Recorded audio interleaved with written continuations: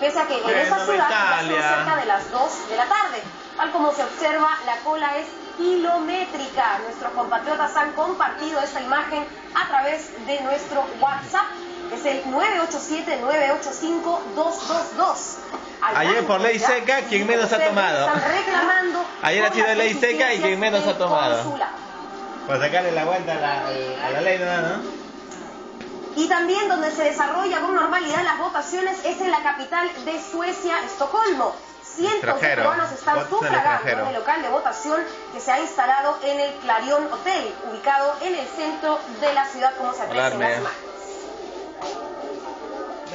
Y también más de 100.000 peruanos ya emitieron su voto en Madrid, España. Algunos compatriotas piden que el próximo presidente les devuelva la oportunidad de regresar al país. Lejos de su patria, miles de peruanos emitieron su voto en Madrid, España. Desde muy temprano, nuestros compatriotas realizaron largas colas y en completo orden. Cumplieron con su labor cívica.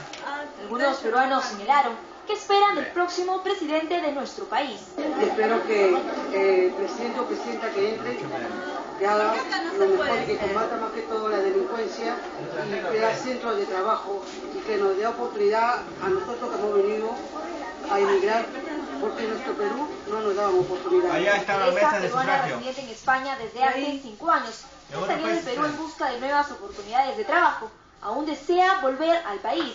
Y nosotros querríamos regresar a nuestro país, ¿para qué? Para trabajar, para ocuparnos de un cargo eh, o hacer un negocio y que nos apoyen en ese aspecto.